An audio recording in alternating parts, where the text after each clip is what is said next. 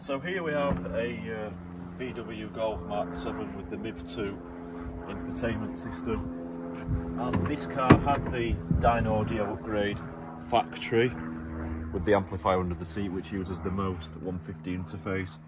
And I've done many things to the car. I've changed the speakers, added subwoofers, amplifiers, but I was never happy with the processing that the stock system was doing. Namely, the head unit that's in the glove box right there and obviously that can't be changed on one of these vehicles. All the trims are made to size. However nav tv make this decoder adapter this silver box there with all the blue cables that come out. And each one of those is an rca cable that you can use to drive a external amplifier in this case the helix one. And i even made a special loom so I didn't have to cut the factory cables. We could easily revert it to factory. In this case we kept the Dynaudio speakers but we've utilized the Zen V MOST 150 decoder to get a really, really nice clean audio signal into our DSP processor, which has enabled us to get a lot more out of the car, not just in terms of volume, but certainly clarity, dynamic range, everything. It's just been transformed with the quality of it. And uh, I'll just give a quick overview that the car still works as normal. Turn the vehicle on, the screen still comes on, you can still use all the normal menu features, the sound, and the focus, that all still works nicely. The media all works fine. Stock volume control, stock steering wheel control still work. And some people might wonder why you'd actually want to have one of these in your car, because they are certainly quite expensive in all truth, there's only one manufacturer that makes these, and that is Nav TV. The MOST 150 interface is very encrypted and specialist, although it's a standard across Mercedes and a lot of the German brands. Um, the actual VW implementation of it needed a lot of research and development to get it operational. Um, but obviously, if I give you a demo, you can see that the original menus all still work, including the subwoofer control bass control, mid-range control, treble control. You do lose the um, sound character profiles. All these are is just control commands to the original factory amplifier and then that would have then made those profiles work. Personally, I don't miss them because I found them all very, very muddy and poorly tuned, which is the reason why I've gone for the Zen decoder. Um, and the Zen decoders are absolutely exceptional. It uses Burr Brown digital to analog converters, which yields a really, really good sound quality with a really good dynamic range. Um, the factory time alignment is largely gone, however, you can use the front left or front right. The actual time alignment of your front left and right speakers stays as normal. It just does some trickery with the time alignment of the rear speakers, which massively improves the sound stage for the driver. Um, obviously I've got a uh, 8 channel DSP amplifier there so I could have different time alignment between my door speakers and my tweeters.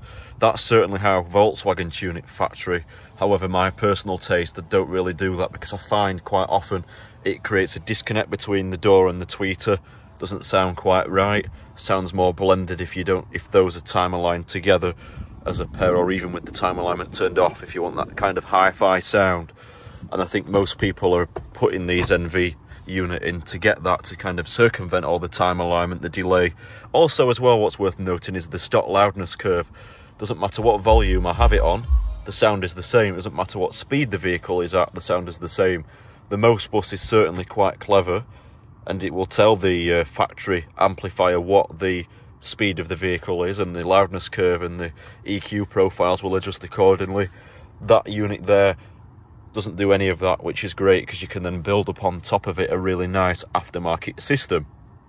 Now, this car is actually leased, so I've wanted to not make any significant internal changes, and any changes that I've made, I've wanted to make it so it's easily reversible. So, obviously, the radio can be recoded back to internal system or even back to the original Dynaudio amplifier, and then that can go in the next vehicle. But the unit ultimately gives you access to the fibre optic bus and a Toslink output for the front left and right speakers and individual channels for all the door speakers, whether it's your rear left, rear right, front left, front right. Even the centre speaker, some models had that. You could actually retrofit it to one of these, assuming there's no airbag behind there. Um, obviously, that would be a big job, but it just gives you an idea that if you are looking to have the Discover Pro Harman Head unit, you can play DVDs in surround sound and true surround sound as well, where the sound effects are coming out the rear speakers um, through one of those units. You certainly don't lose those features.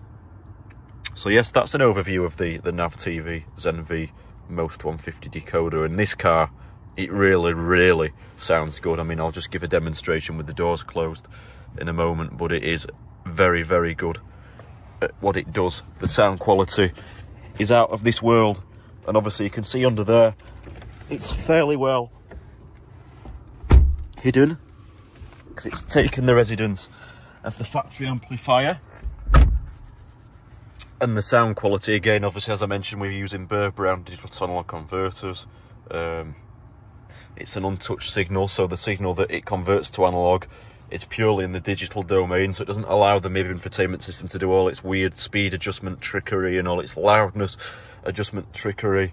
Obviously, you don't get any of the stock limitations with the gain or the volume or the poor dynamic range. You get a really clean signal that you can work with and build a really, really nice aftermarket system with. And you know, that's what, what you want from it, really. I'll just find a, a track we can use as a test. There's plenty on here.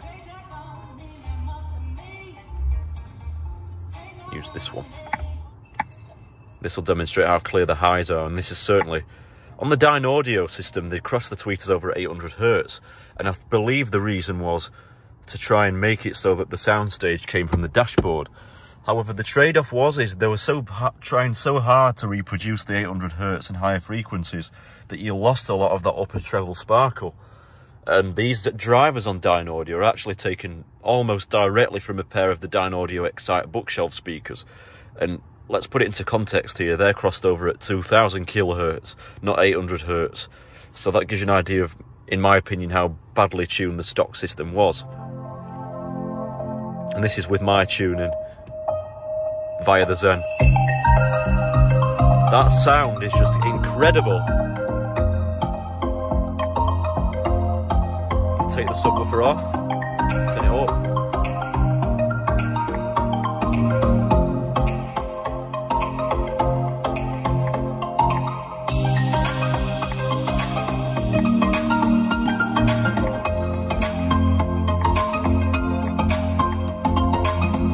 The fader still works.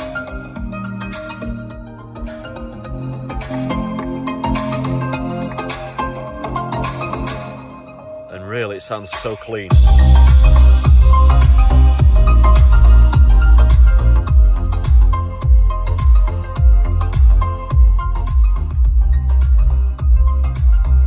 yeah, you really get an idea of how good that sounds. This is using the stock head unit, the stock everything. Um, the only thing that I'm not using that's stock is the Dynaudio subwoofer is no longer used. I'm running an active JBL one purely because the Dynaudio subwoofer used a driver which was the same in size, if not smaller than the door drivers, and that is not going to do anything in terms of sub bass. And obviously, the minute you try and connect it to an amplifier like that, would bottom out and probably blow quite easily. But yeah, so clean. The sound of the radio works. Well, it would do if it had a signal, obviously, around here. It doesn't really get a great signal, but there you go. Um, Apple CarPlay works, sat nav works, and all your, all your sounds come through as normal. Does really sound good, this system now. Thank you for watching.